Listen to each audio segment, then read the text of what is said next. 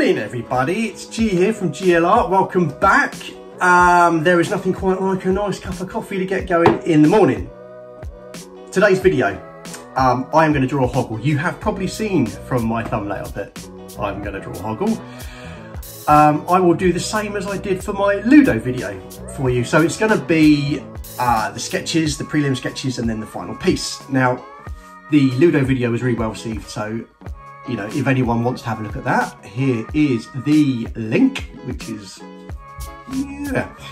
And if you want to watch more of these videos, then subscribe. I mean, get on board, subscribe, hit the bell icon, and then you can see all of my content, which will be a Wednesday and Saturday release. And I hope you like the video. I will see you just after.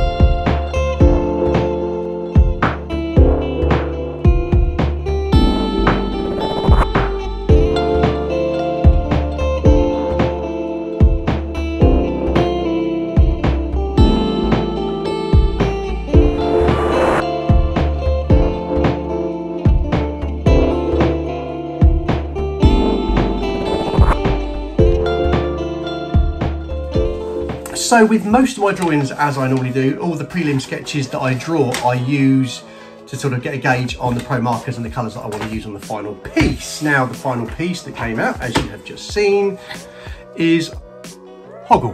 And there he is. And he's really cool, he's full of character. So much character there, and that's exactly what I intended. And as I say, it's not going to be everyone's cup of tea, but I really like him. Um, so that's Ludo done, and that is Hoggle done. So the next character will be, hmm, I guess you'll have to wait and see. But that will be released Wednesday uh, coming, if I can get it done in time. Fingers crossed. But until then, please stay safe, stay clean, stay happy, and I'll see you on the next video.